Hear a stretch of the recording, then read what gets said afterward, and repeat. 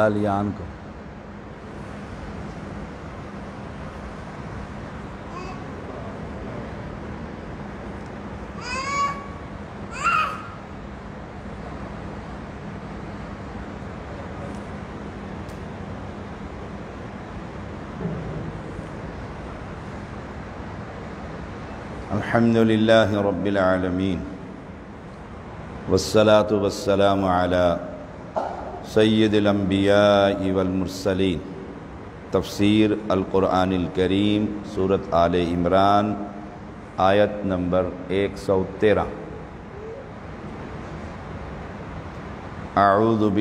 मिनश्शैतानिर्रजीम ज़ुय्यिन लिन्नासि हुब्बुश्शहवाति मिनन्निसाइ वल्बनीन वल्क़नातीरिल मिनज़हब वलफ़त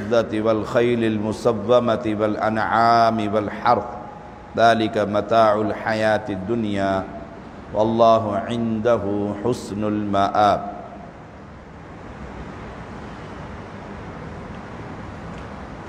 lecture number 113 लोगों के लिए नफसानी ख्वाहिशों की मोहब्बत मुदैन की गई है।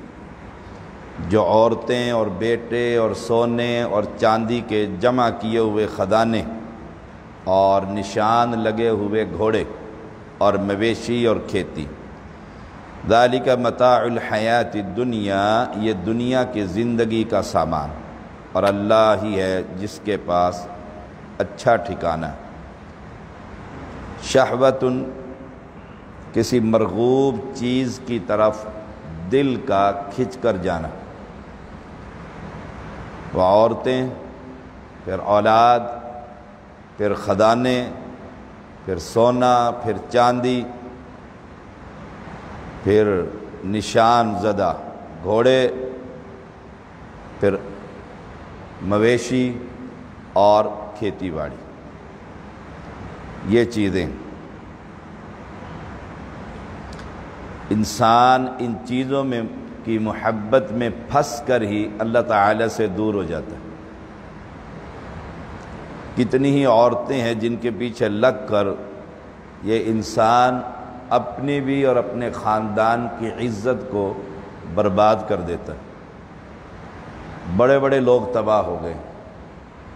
सबसे बड़ा फितना सही बुखारी पाँच हज़ार छियानवे, रसूलुल्लाह सल्लम ने फरमाया मेरे बाद मर्दों के लिए औरतों से बढ़कर कोई नुकसानदेह चीज़ नहीं। अच्छा भला घर बसरा होता है और टेलीफोन पर किसी की कॉल आ जाती है, वो पूरे घर को तबाह बर्बाद कर देती वो सच्ची है या झूठी, ये अलग बहस बस शक बीवी को पड़ा कि मेरे खामिन का किसी के साथ ताल्लुक़ है और कितने ही हैं अल्लाह ताला उनको हदायत दे, जो बीवी की मौजूदगी में, हलाल चीज़ की मौजूदगी में हराम की तरफ़ बड़ी रगबत रखते हैं। वही गुफ्तगु बीवी से की जा सकती है, जो वो एक गैर औरत से करता। कितना ही अक्लमंद इंसान होता है, और औरत अकल में भी कम, दीन में भी कम, और बड़े से बड़े आदमी की अकल को मार देती। कहते हैं, मर्द हमेशा तालब इलमी रहता है। तालब इलमी रहता है। क्यों? माँ ये समझती है कि बीवी पढ़ा रही है और बीवी ये समझती है, माँ पढ़ा रही है। फौत हो जाता है मर्द। और कितने लोग बर्बाद हो जाते हैं, घरानों के घराने बर्बाद हो जाते हैं। मैं कितनों को जानता हूँ जो दीन पढ़ाने वाले और इस मोबाइल के ज़रिए उनके ताल्लुकात हलाल चीज़ की मौजूदगी में हराम की तरफ़ ताल्लुक़ है। तो फरमाया जुयन लन्नास हब्बुशहवात बिनसा ये बड़ी मोहब्बत जो मुजयन कर दी गई। रसूलुल्लाह सल्लम का फरमान कितना खूबसूरत। तुम्हें कोई औरत अच्छी लगे तो फ़ौरन अपनी बीवी के पास आ जाओ। वही चीज़ जो उसके पास है, वो तुम्हारी बीवी के पास भी है। हलाल खाइए, हलाल खिलाइए। जुयन लन्नास हब्बुशहवाती मिनन्निसा हलाल जादू कीजिए, हलाल जादू। औरतें आती हैं ना खातीन, कि जी खामिन बड़ा ही सख्त है, बड़ा ही सख्त है खामिन। कोई तावीज़ दे दीजिए। मैं उन्हें कह देता हूँ, हलाल जादू कर दूँ? कहते हैं हाँ जी, कर दें, बड़ी खुश होती। मैंने घर जाएँ, गुसल करें, कपड़े बदलें, बनाओ सिंगार करें, खामिद आए तो गेट पर उसका इस्तकबाल करें। कहते, थकी मारी हुई तो मैं उधर आगे बस, यही हलाल जादू है। यही हलाल जादू खामिन जो बाज़ार से दस घंटे मेहनत करके आ रहा है, दफ्तर से कमा कर ला रहा है, हर तरह की औरतें उसे बाज़ार के अंदर नज़र आ रही हैं तो रसूलुल्लाह सल्लम ने फरमाया खामिन जब घर में आए तो बीवी इस अंदाज में मिले कि उसका दिल खुश हो जाए। उसके हाथ से बैग लीजिए। अभी वो सीढ़ियों में होता है तो कहती है, तेरी औलाद ही खा गई मुझे।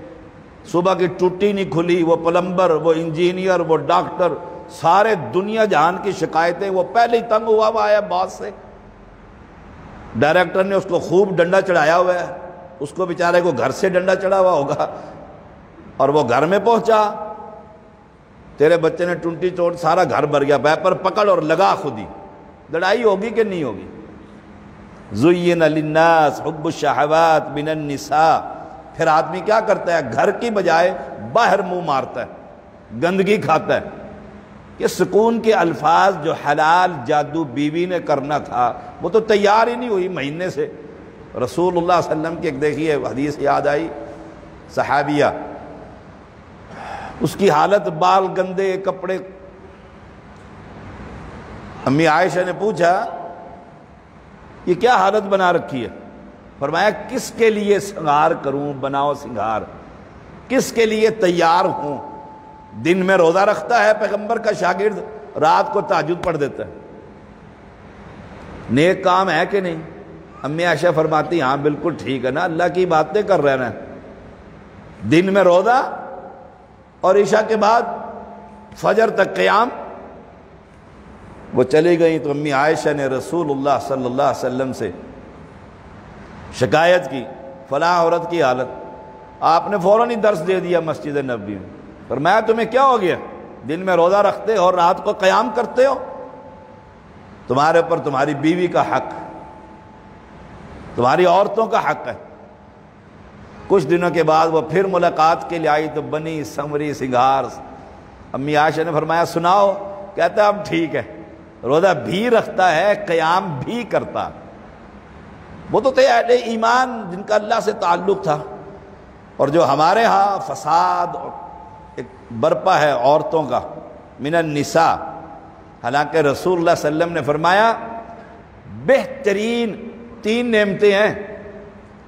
तवज्जो से सुनिए, तीन नेमतें हैं। नंबर एक, खुला घर, अपना घर। नंबर दो, अपनी सवारी, अच्छी सवारी। और नंबर तीन, मिनन निसा, नेक बीवी। और बद बीवी हो, आप उस खामिन से पूछिए, जहन्नम है दुनिया उसके लिए। मैं कितने लोगों को जानता हूँ, आलिम, मैं तो तालब इल्म हूँ, हमारे सामने लोग आकर फिर अपने घर की बातें करते हैं। यकीन जाने लोगों को कैंसर जैसे मर्ज ने पकड़ लिया। यही दिमाग हर वक्त की घर में फसाद, लड़ाई। तो फरमाया, अल्लाह करीम ने, अल्लाह ने इन औरतों की तरफ़ इनके दिल खींच कर रख दिए लेकिन औरत भी तो औरत बने। औरत भी तो औरत बने कि बाहर जाता है जी, बाहर तो वो जाएगा कि जितनी देर बाहर रह लूँ, उतनी देर ही सुकून। घर में जाऊँगा तो फसाद। जुयन अलिन्नास हब्बुशहवात मिनन्निसा और इसीलिए रसूल ने फरमाया, दो चीज़ें अल्लाह ने मुझे बड़ी महबूब रखी हैं। एक औरत, एक खुशबू। रसूलुल्लाह वसल्लम के अहले बैत को लेकर गुलाम सवारी पर जा रहा था। उसने ऊँट को ज़रा तेज़ चलाया। आपने फरमाया, क्या करता है? शीशे की गुड़ियाँ ऊपर डाली हुई है और ऊँट को भगा रहा है? इतना ख्याल औरतों का। पैगंबर को इतनी मोहब्बत। फरमाते, अम्मी आयशा रदी अल्लाह तह हमसे प्यार और मोहब्बत करते, हम कोई काम कर रही होती, हमारे साथ अल्लाह के नबी हाथ बटाने लग जाते। अब ज़रा अम्मी के सामने, बीवी के साथ हाथ बटा कर तो देखो। देखो कैसे फसाद पड़ेगा। माँ कहेगी, यही तेरी लगती है, फला। दोनों तरफ़ से अफरात और तफरीद का शिकार हो गए हैं लोग। वो हमारे एक दोस्त थे कराची से आ रहे थे, अब्दुल हकीम में आना था उन्होंने। बीच में अब्दुल हकीम आता है, फिर लाहौर आता है। तो वो लेट हो गए तो वालदा ने पूछा पहुँचा नहीं चौधरी? परेशान वालदा इंतज़ार में होती है ना। जब भी बैठी होती है तो, तो इंतज़ार में होती है। देखा लेट से लेट लेट से लेट। लेट हो गया है तो फिर आखिर पहुँच गया पूछा वालदा ने कि भाई तुम लेट हो गए हो। कहने लगे बीच में लाहौर आ गया था वहाँ बीवी के पास चला गया था। चार घंटे के बाद लाहौर ने आना है। कहते, बीच में लाहौर आ गया था। पहले लाहौर, बीवी, फिर माँ, फिर बीच में आ गया था। यह है मिनन निसा जो खींचती है खामिन को। खींचती है। औरतों के अंदर, अल्लाह ने मर्दों के अंदर एक कशिश रखी है। वो लपकता है इसकी तरफ़। वो एक मुहदस जा रहे थे। वो कहते, समझ नहीं आई, औरत फितना कैसे? जैसे हदीस मैंने आपको सुनाई, बहुत बड़ा फितना है। उसने एक औरत से ही पूछ लिया कि मुझे इस आयत करीमा की समझ नहीं आ रही। औरत फितना कैसे? घर में सुकून है, बीवी है, बेटियाँ हैं, सब कुछ। अल्लाह का शुक्र है। उसने कहा समझाओ फितना कैसे है? कहते हाँ समझाओ जरा, फितना कैसे है? बस वो साथ जो ही गुजरी, आपने पूछा, उसने कहा भी समझा दू? हाँ भी समझाओ। उसने वहीं से चीख मारी, वहीं से। और कहा, भाई सामने ही उनके घर थे। लोग कुल्हाड़ियाँ डंडे सोटे लेकर चल पड़े भागे कि भाई इस, इसने हमारी औरत को छेड़ दिया। उसने देखा भाई ओहो ये तो आते ही मेरी गर्दन उतारेंगे सीधा ही। गर्दन उतारेंगे। जो ही करीब आए औरत ने दोनों हाथ खड़े कर दिए तारीख में आते। उन्होंने कहा ठहरो ठहरो। शुक्र अदा करो इस बुज़ुर्गों का। इतना बड़ा अजदहा था जो इसने मुझे बचा लिया। ये ना होता तो मैं तो वो निकल ही जाता। और उसकी जान काँप रही थी कि बस, वो बंदे वहीं रुक गए, फ़ौरन सलाम, दुआ, घर आइए पीर साहब। उन्होंने कहा, मेरी जान छो जाते हुए कहती है, फितने की समझ आई? औरत फितना। है जुयन लिन्नासी हब्बु निसा। मिनन निसा, औरत बहुत बड़ा फितना। है बहुत बड़ा फितना। है आप दो दफ़ा काल ही सुन आहिस्ता आहिस्ता। और बीवी के बस ये आहिस्ता आहिस्ता बातें किससे हो रही थी?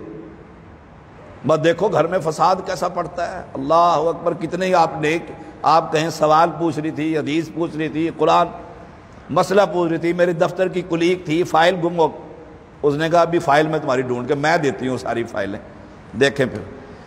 अल्लाह महफूज फरमाए, मिनन निसा इवल बनीन। और बेटे, बेटों की तरफ़ हर शख्स बेटा माँगता है। अल्लाह सबको नेक, सहले बेटे आता फरमा। सलेमान सलाम ने भी कहा था ना, आज मैं अपनी सब बीवियों के पास जाऊँगा और अल्लाह मुझे औलाद देगा, सारे बेटे और सब मिलकर अल्लाह के रास्ते में जिहाद करेंगे। इस नीयत से मांगो तो बड़ा खुश। वैसे भी औलाद बहुत बड़ी नेमत है। जैसे आजमाइश है नेमत भी बहुत बड़ी है कि आपने उसको आलिम बनाया, हाफिज बनाया, मुसल्ले का इमाम बनाया, नेक बनाया। वो नेकियाँ कर रहा है। आप कबर में, मैं कबर में, वो सारा नाम अमाल में लिखा जा रहा है। रोज दर्जे बुलंद हो रहे हैं। रोज दर्जे। तो वो पूछता है यार अब मेरा दर्जा बुलंद कैसे हुआ है? तो अल्लाह फरमाता है, जवाब दिया जाता है कि तेरे बच्चे ने आज कुरान ख़त्म किया पूरा कुरान हिफ्स कर लिया है। तो लगा कर आया था वहाँ पर। सुबहान अल्लाह तो बेहतरीन सदका जारी भी है बल बनीन। और इंसान खिंचता भी है। बे औलाद जो हो, ज़रा उससे पूछे, औलाद कितनी बड़ी नमत है। और जिसकी औलाद इबलीस होना, शैतान हो, मैं अभी एक आलिम की तकरीर सुन रहा था, पाँच मिनट पहले अजान से। हाय हाय। अल्लाह उसकी औलाद को हदायत दे। उन्हें अपने वालिद के ख़िलाफ़ वीडियो क्लिप बनाकर डाल दी। गंदी, गलीज ज़ुबान इस्तेमाल कर। अपने वालिद खिलाफ और वो कह रहा था, मैं सारी ज़िंदगी ने माफ़ नहीं करूँगा। ऐसी औलाद से तो बे औलाद ही बेहतर होता है। वल बनीन, वल कनातिर मुकन तरा खजाने, आदमी गिनता ही रहता है। पैसे हो गए, दस लाख हो गए, पंद्रह हो गए, बीस। अभी बीस के गिनती में रहता है कि वो गया ऊपर, वो बीस कहाँ गए? वो रसा के पास चले गए। वो मेरे तो है ही नहीं, मेरा वो है जो मैंने पहन लिया, अच्छे से अच्छा पहनिए। अच्छे से फरमाया रसोल्लम ने, अल्लाह ने दिया उसका इजहार कर। हर वक्त सूफी बनकर ना रहे, फटे हुए कपड़े पहना हुए और घर के अंदर सारे। सुबहान अल्लाह अच्छा सेहत, मोमिन कवि अल्लाह को कमज़ोर, मोमिन से बहुत पसंद है। जितना कवि होगा, उतनी ईंटें मस्जिद की उठाकर अंदर रखेगा। दीन की खिदमत करेगा। सेहत के लिए अपनी सेहत का खसूसी ख्याल रखें।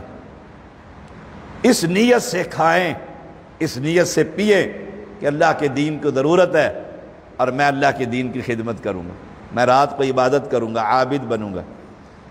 मिनज़ाहब वलफ़िदा सोना और चांदी, वो पहले सोना चांदी संभाल कर रखते थे। सोना चांदी संभाल कर रखते थे। इसके अंदर इंसान खिंचाई जाता है। औरत को आपने राधी करना है, बस उसे एक अंगूठी बना दें। फिर नाराज़ हुई है फिर कोई छल्ला बनवा दें।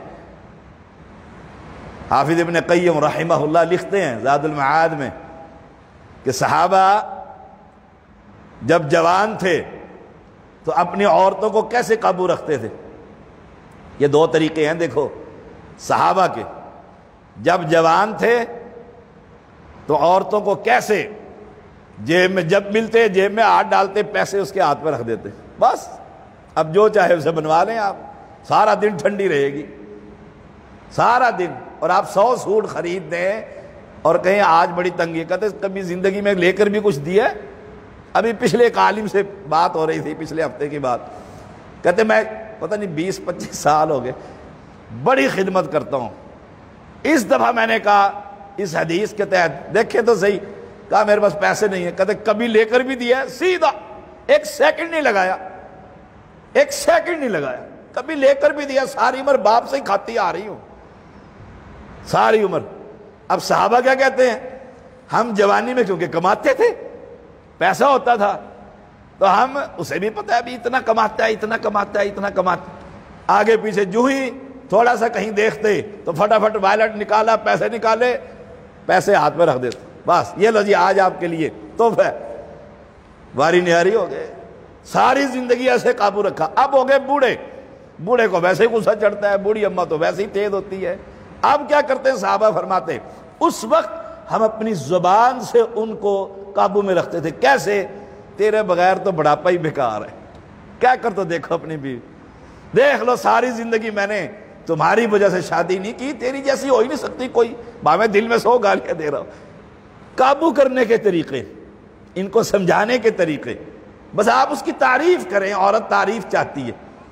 वो खदाने, वो वो चांदी, वो अंगूठी, कोई देवर और आजकल तो आर्टिफिशियली इतना कि पता ही नहीं लगता असली है कि नकली। वही ले आए करें, घर चलता रहे। घर बसता रहे।